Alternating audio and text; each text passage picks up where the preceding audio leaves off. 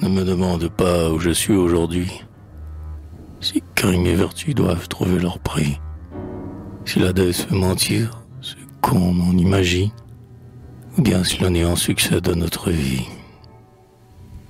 Quel que soit le secret que renferme la tombe, tu maudirais ma voix si je pouvais répondre, car je t'aurais d'un corps ravi, le courage ou la liberté.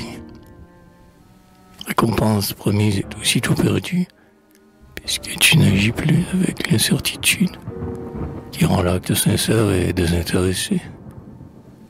Et si je t'annonçais porter à le néant, serais-tu assez fort pour marcher plus avant, sans le bâton de l'espérance?